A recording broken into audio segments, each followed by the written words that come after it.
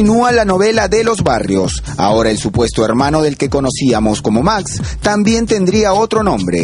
Luis Barrios Prado sería en realidad Alfredo René Perlaza Quiñones, también ecuatoriano y con más edad de la que figura en su documento de la RENIEC, según el cual habría nacido en 1994 y tendría 18 años.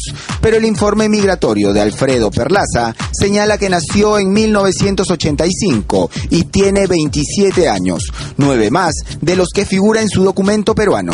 La sospechosa coincidencia pasa por el informe de la Policía Nacional de Ecuador, que indica que Perlaza Quiñones salió del país por última vez el 2 de enero del 2012 y en Perú Luis Barrios fue inscrito en la RENIEC 10 días después, caso que también ha sido denunciado por el asambleísta ecuatoriano Rolando Panchana. Porque hay otro hijo, pero es tremendamente parecido a un futbolista ecuatoriano que se llama Luis Antonio Perlaza Quiñones y cuyo último club fue el club Los Pumas de Catacocha. ¿En dónde? También en Loja. Así es, la misma localidad donde jugó Juan Carlos Espinosa o Max Barrios. Una coincidencia más.